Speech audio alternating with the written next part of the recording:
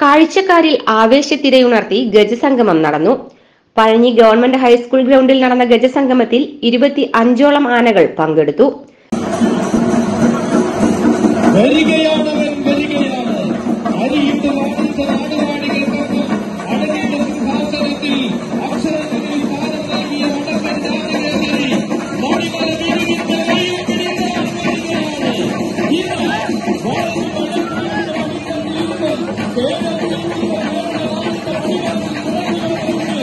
Pazhanji saint Mary's orthodox കത്തീഡ്രലിൽ പെരുന്നാളിന് വിവിധ കമ്മിറ്റികളിലെത്തിയ ആനകളാണ് വൈകിട്ട് ഹൈസ്കൂൾ മൈതാനത്തെത്തിയത്. വിവിധ ഭാഗങ്ങളിൽ നിന്ന് വാദ്യമേളങ്ങളും ആർപ്പുവിളികളുമായി ദേശക്കാർ തങ്ങളുടെ ആനകളെ മൈതാനത്തേക്ക് ആനയിച്ചു. ഗ്രൗണ്ടിൽ ഒരുക്കിയ സ്ഥലങ്ങളിൽ ആനകൾ അണിനിരന്നതോടെ കാഴ്ചക്കാർക്കും ആവേശമായി.